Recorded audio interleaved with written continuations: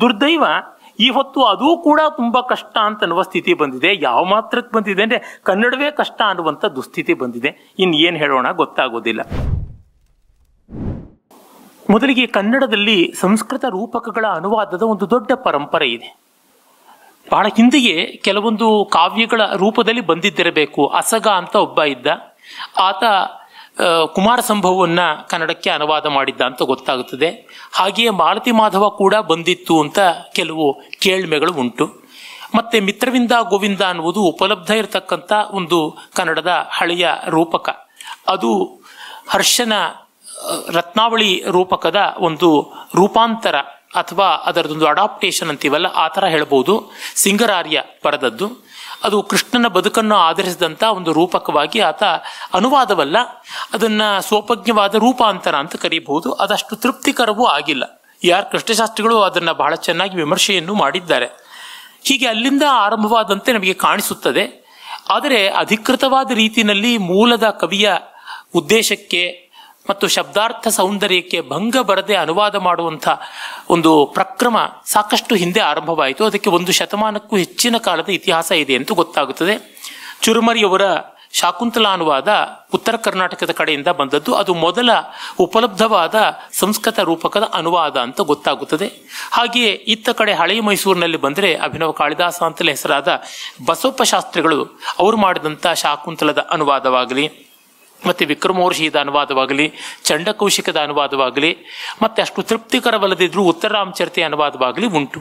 ಹಾಗಲ್ಲದೆ ಇನ್ನು ಅನೇಕರು ಮಾಡಿದ್ರು. ಉದಾಹರಣೆಗೆ ದೋಂಡು ನರಸಿಂಹ ಅಂತಕ್ಕಂಥವ್ರು ಮಾಡಿದ್ರು ಭೀಮಾಜಿ ಹುಲಿಕವಿ ಅಂತಕ್ಕಂಥವ್ರು ಮಾಡಿದ್ರು, ಈ ಥರ ಹಲವರು ಮಾಡಿದ್ರು. ನಾನು ನೋಡಿದಂಥ ಹತ್ತಾರು ರೂಪಕಗಳ ಅನುವಾದಕರ್ತರ ಕೌಶಲವನ್ನ ಕುರಿತು ಸಣ್ಣದಾಗಿ ಹೇಳ್ತಾ ಕೃಷ್ಣಮೂರ್ತಿಯವರ ಒಂದು ಅನುವಾದಗಳಿಗೆ ಒಂದು ನೇಪಥ್ಯ ಕೊಡ್ತಾ ಇದ್ದೀನಿ. ಗರಣಿ ವೈಯಾಕರಣ ಕೃಷ್ಣಾಚಾರ್ಯ ಅನ್ನುವರು ಮೃಚ್ಛಕಟಿಕವನ್ನ ತುಂಬಾ ಚೆನ್ನಾಗಿ ಅನುವಾದ ಮಾಡಿದ್ರು. ಅವರು ದೊಡ್ಡ ವೈಯಾಕರಣರು ಆಗಿದ್ರು. ಮತ್ತೆ ಅವರ ಅನುವಾದ ಒಳ್ಳೆಯ ಹಳಗನ್ನಡದ ಗದ್ಯ ಪದ್ಯಗಳ ಸ್ವಾರಸ್ಯ ಇರತಕ್ಕಂಥದ್ದು. ಮತ್ತೆ ಮೈಸೂರು ಸೀತಾರಾಮ ಶಾಸ್ತ್ರಿಗಳು ಅಂತಕ್ಕಂಥವ್ರು ಬಹಳ ಸೊಗಸಾದ ಅನುವಾದ ಮಾಡಿದ್ರು. ಅವರು ವೇಣಿ ಸಂಹಾರವನ್ನು ಮಾಡಿದ್ದಾರೆ. ನಂಜನಗೂಡು ಅನಂತನಾರಾಯಣ ಶಾಸ್ತ್ರಿಗಳು ನಾಗಾನಂದವನ್ನ ಅನುವಾದ ಮಾಡಿದ್ದಾರೆ. ಇವೆಲ್ಲ ಪೂರ್ಣ ಪ್ರಮಾಣದ ಹಳಗನ್ನಡದ ಅನುವಾದಗಳಾಗಿವೆ. ಮತ್ತೆ ಮೇಣ ರಾಮಕೃಷ್ಣ ಭಟ್ರು ಅನ್ನುವರು ಆಶ್ಚರ್ಯ ಚೂಡಾಮಣಿಯನ್ನ ಅನುವಾದ ಮಾಡಿದ್ದಾರೆ. ಅವರು ಸ್ವಲ್ಪ ಈಚಿನವರು ಇವರುಗಳಿಗೆ ಹೋಲಿಸಿದರೆ. ಆದರೆ ಅವ್ರದ್ದು ತುಂಬ ಸೊಗಸಾಗಿದೆ. ಒಳ್ಳೆ ಹಳಗನ್ನಡದ ಬಿಕ್ಕಟ್ಟು, ಬಿಗಿ ಸೊಗಸು ಚೆನ್ನಾಗಿರ್ತಕ್ಕಂಥದ್ದು. ಇಲ್ಲಿ ನೋಡಿ ಬಸವಪ್ಪ ಶಾಸ್ತ್ರಿಗಳ ಕರ್ನಾಟಕ ಶಾಕುಂತಲ ಅನುವಾದ ಒಂದು ಒಂದು ರೀತಿಯ ಜಲಚಿಹ್ನೆ ಅಂತ ಅನ್ಬೋದು ವಾಟರ್ ಮಾರ್ಕ್ ಅಂತ ಹೇಳ್ಬೋದು. ನಮ್ಮ ಕೆ ಕೃಷ್ಣಮೂರ್ತಿಗಳು ಅದನ್ನು ಅನೇಕ ಸಂದರ್ಭಗಳಲ್ಲಿ ಮೆಚ್ಚಿಕೊಂಡು ಪ್ರಸ್ತಾವಿಸಿದ್ದುಂಟು. ಹಾಗೆಯೇ ವೈಯಾಕರಣ ಗರಣಿ ಕೃಷ್ಣಾಚಾರ್ಯರು ಬಹಳ ಸೊಗಸಾಗಿ ಮೃಚ್ಛಕಟಿಕವನ್ನು ಅನುವಾದ ಮಾಡಿದ್ರು. ಅದು ನಮ್ಮ ಕೆ ಕೃಷ್ಣಮೂರ್ತಿ ಅವರ ಮೃಚ್ಛಕಟದ ಜೊತೆಗೆ ತೌಲನಿಕ ಅಧ್ಯಯನ ಮಾಡೋದಕ್ಕೆ ಅನುಕೂಲವಾಗಿದೆ. ಹೀಗೆ ಈ ದೃಷ್ಟಿಯಿಂದಲೂ ಗಮನಿಸಬಹುದು. ಹಲವರು ಮಾಡಿದ್ದಾರೆ, ನಂಜನಗೂಡು ಸುಬ್ಬಾಶಾಸ್ತ್ರಿಗಳು ಸಂಕ್ಷೇಪ ರೂಪದಲ್ಲಿ ಮಾಡಿದ್ದಾರೆ, ಮತ್ತು ಇನ್ನೂ ಕೆಲವರು ಮಾಡಿದ್ರು.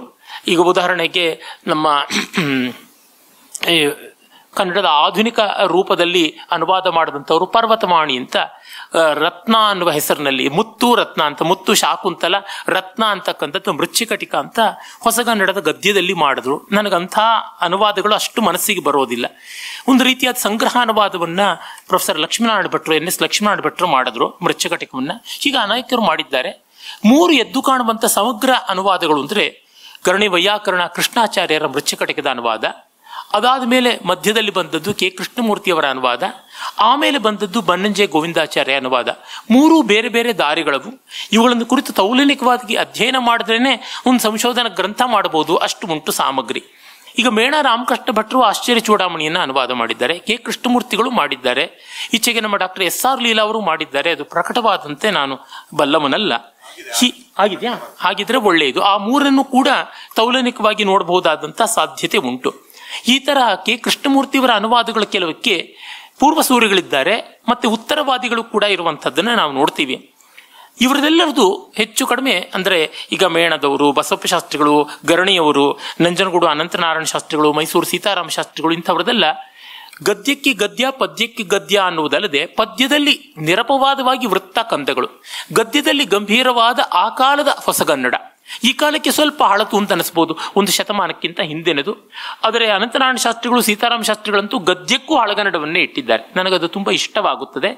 ಇನ್ನು ಪದ್ಯದಂತೂ ವೃತ್ತ ಕಂದಗಳು ಬಹಳ ಮಟ್ಟಿಗೆ ಖ್ಯಾತ ಕರ್ನಾಟಕಗಳು ಮತ್ತು ಕಂದ ಪದ್ಯ ಈ ರೀತಿಯಾದದ್ದುಂಟು. ಎಲ್ಲೋ ಕೆಲವೊಮ್ಮೆ ಬೇರೆ ವೃತ್ತಗಳು ಕೂಡ ಬರುವುದುಂಟು.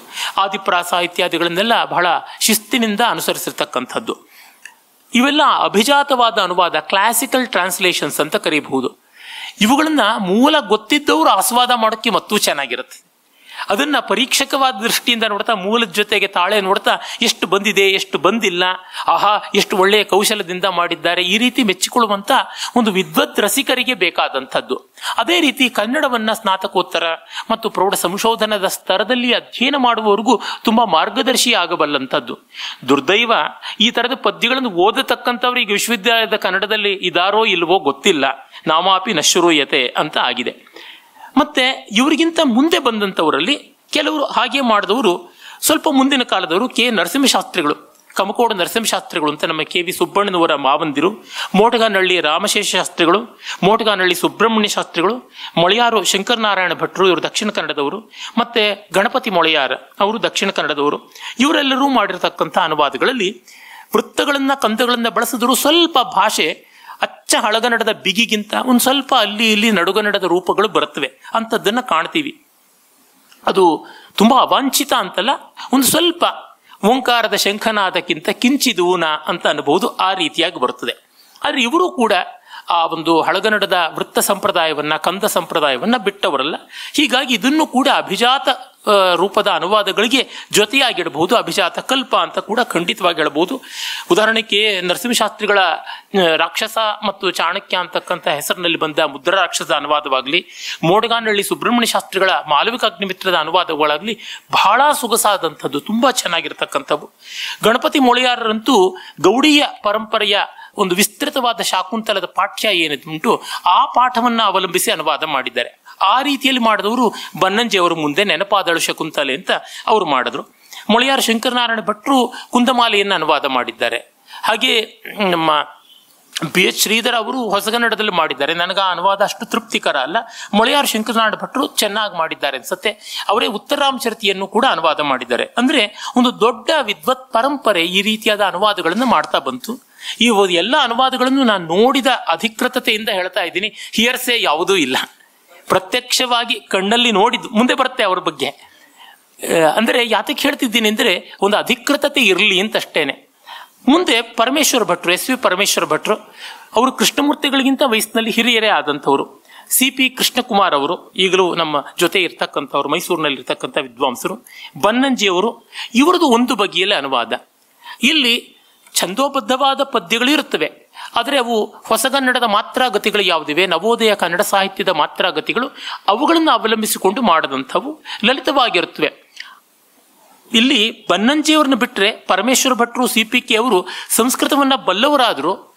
ಬನ್ನಂಜಿಯವರಂತೆ ಮೂಲವನ್ನ ವ್ಯಾಖ್ಯಾ ನಿರಪೇಕ್ಷವಾಗಿ, ಭಾಷಾಂತರ ನಿರಪೇಕ್ಷವಾಗಿ ಪೂರ್ಣ ಪ್ರಮಾಣದಲ್ಲಿ ಅದನ್ನು ಅರ್ಥ ಮಾಡಿಕೊಳ್ಳವರು ಬಲ್ಲವರೋ ಅಲ್ಲವೋ ಅದೊಂದು ಪ್ರಶ್ನೆ ಇದೆ. ಆ ಸಮಸ್ಯೆ ಬಸವಪ್ಪ ಶಾಸ್ತ್ರಿಗಳಿಗಾಗಲಿ, ವೈಯಾಕರಣ ಕೃಷ್ಣಾಚಾರ್ಯರಿಗಾಗಲಿ, ಮೈಸೂರು ಸೀತಾರಾಮ ಶಾಸ್ತ್ರಿಗಳು, ಮೇಣ ರಾಮಕೃಷ್ಣ ಭಟ್ರು, ಅನಂತ ಶಾಸ್ತ್ರಿಗಳು, ಇಂಥವ್ರಿಗೆ ಯಾರಿಗೂ ಇರಲಿಲ್ಲ. ಅವ್ರ ಕಾಲದಲ್ಲಿ ಬೇರೆ ಅನುವಾದಗಳೇ ಇರಲಿಲ್ಲ. ನೇರ ಮೂಲವನ್ನು ಓದಬೇಕು, ಮೂಲವನ್ನು ಅರ್ಥ ಮಾಡಿಕೊಂಡು ಮಾಡಬೇಕು. ಹೀಗಾಗಿ ಇವ್ರದೆಲ್ಲ first stand of the first finest order ಆ ರೀತಿಯಾಗಿ ಹೇಳಬಹುದು ಆಮೇಲೆ ಮಾಡಿದವರಲ್ಲಿ ಟಿಪ್ಪಣಿಗಳು, ಭಾಷಾಂತರಗಳು, ವ್ಯಾಖ್ಯಾನಗಳು, ಈ ಥರದನ್ನು ಇಟ್ಟುಕೊಂಡು ಮಾಡಿದ್ದು ಕಾಣಿಸುತ್ತೆ. ತಪ್ಪಲ್ಲ. ಒಳ್ಳೆಯ ಕೃತಿ ಬರಬೇಕು ಕನ್ನಡಕ್ಕೆ. ಒಳ್ಳೊಳ್ಳೆ ಕೃತಿಗಳನ್ನು ಮತ್ತೆ ಮತ್ತೆ ಅನುವಾದ ಮಾಡ್ತಾ ಇರಬೇಕು. ಆ ದೃಷ್ಟಿಯಿಂದ ಇವೆಲ್ಲ ಸ್ವಾಗತಾರ್ಹವಾದವು, ಶ್ಲಾಘ್ಯವಾದವು.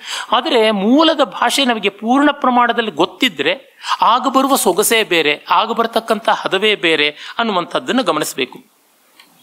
ಕೆಲವೊಮ್ಮೆ ಏನಾಗುತ್ತವೆ, ಈ ಅನುವಾದಗಳಲ್ಲಿ ವೃತ್ತ ಕಂದಗಳ ಚೌಕಟ್ಟು ನಾಲ್ಕೇ ಸಾಲಿರುತ್ತವೆ ಅದರಿಂದ ಕೆಲವೊಮ್ಮೆ ಅನುವಾದವನ್ನು ಕುಗ್ಗಿಸಬೇಕಾಗುತ್ತದೆ, ಕೆಲವೊಮ್ಮೆ ಹಿಗ್ಗಿಸಬೇಕಾಗುತ್ತದೆ. ಇದು ಬಸವಪಶಾಸ್ತ್ರಗಳಂತಹ ಕೃತಹಸ್ತರಲ್ಲಿಯೂ ನಾವು ನೋಡ್ತೀವಿ.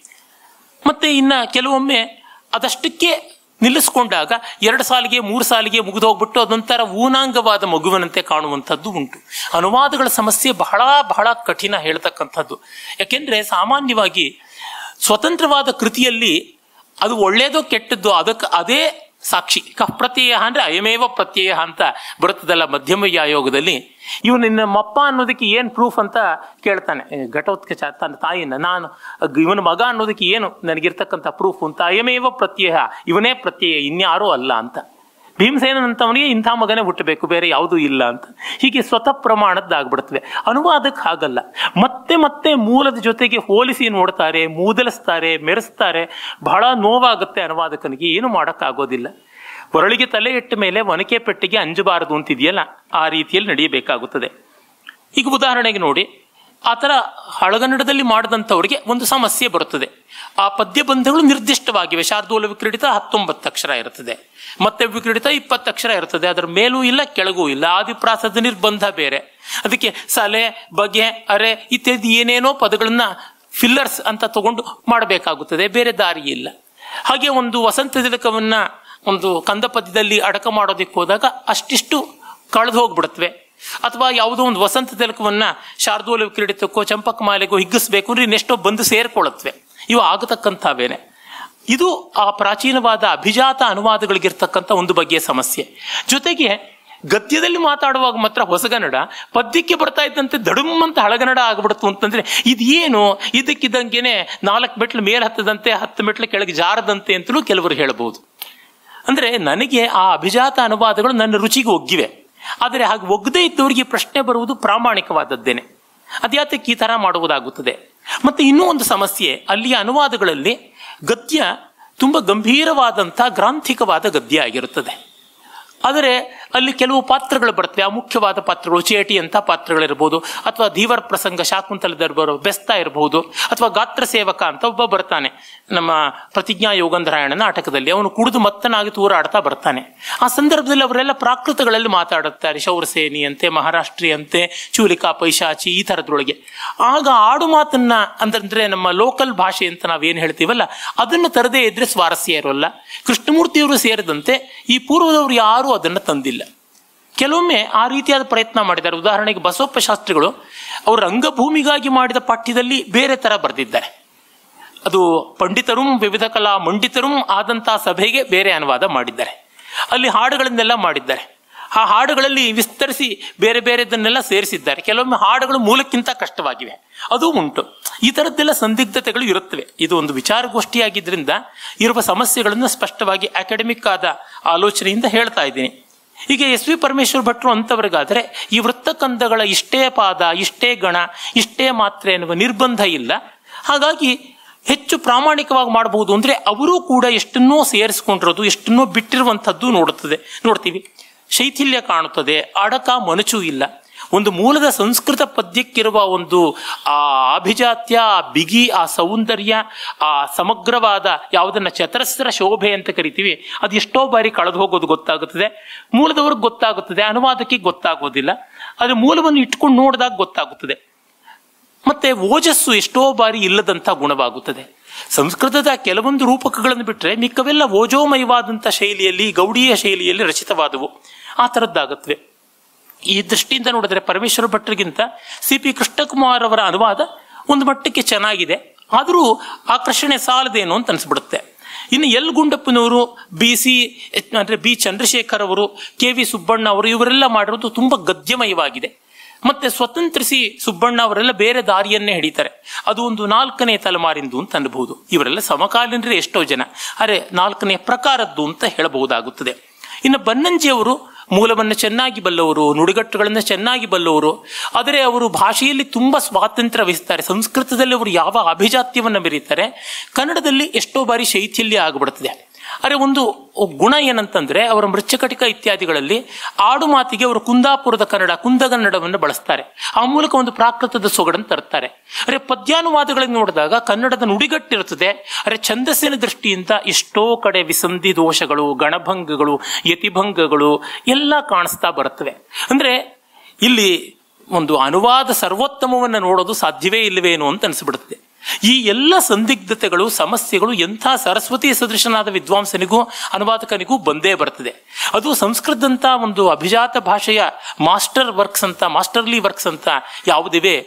ಆ ರೀತಿಯಾದ ಉದ್ಘ ಕೃತಿಗಳನ್ನು ಕನ್ನಡಕ್ಕೆ ತರುವಾಗ ಹೆಜ್ಜೆ ಹೆಜ್ಜೆಗೂ ಅನುಭವಿಸಬೇಕಾಗುತ್ತದೆ. ಇದರಲ್ಲಿ ಕೃಷ್ಣಮೂರ್ತಿಗಳ ಒಂದು ಸಾಫಲ್ಯ ಎಂಥದ್ದು, ಅವರ ಸವಾಲುಗಳು ಎಂಥವು ಅನ್ನುವಂಥದ್ದನ್ನ ನಾವು ಸ್ವಲ್ಪ ಗಮನಿಸಿ ನೋಡಬಹುದು.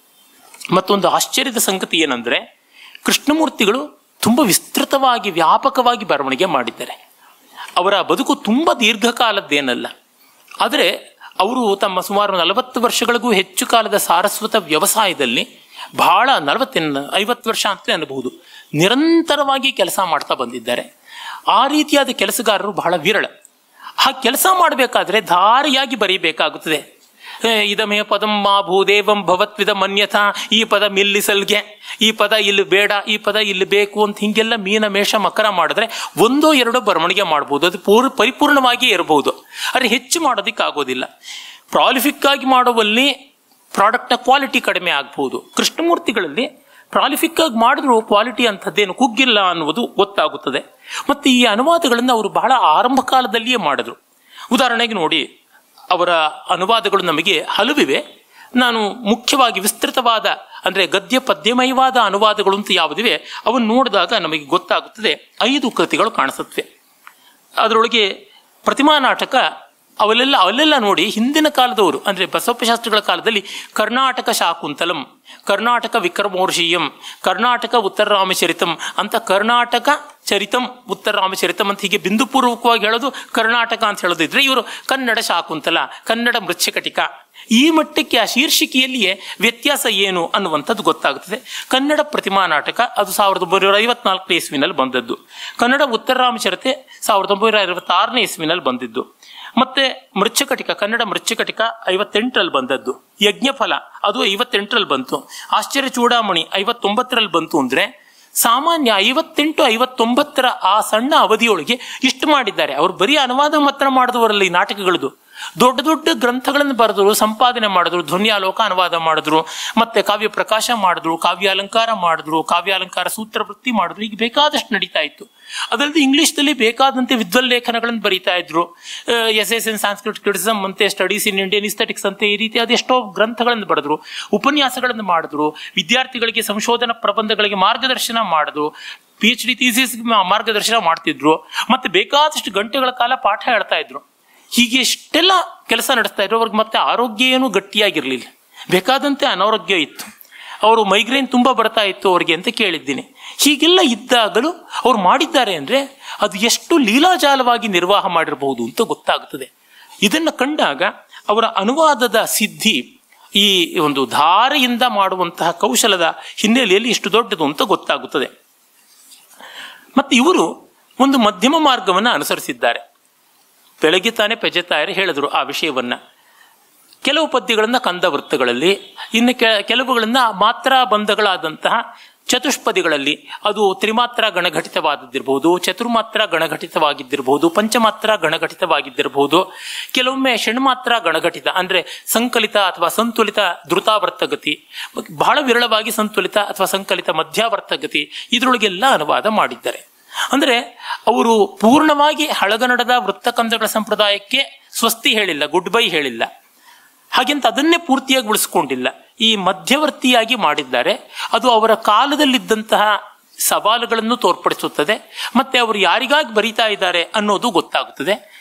ದುರ್ದೈವ, ಈ ಹೊತ್ತು ಅದೂ ಕೂಡ ತುಂಬಾ ಕಷ್ಟ ಅಂತ ಅನ್ನುವ ಸ್ಥಿತಿ ಬಂದಿದೆ. ಯಾವ ಮಾತ್ರಕ್ಕೆ ಬಂದಿದೆ ಅಂದ್ರೆ ಕನ್ನಡವೇ ಕಷ್ಟ ಅನ್ನುವಂಥ ದುಸ್ಥಿತಿ ಬಂದಿದೆ. ಇನ್ನು ಏನು ಹೇಳೋಣ ಗೊತ್ತಾಗೋದಿಲ್ಲ.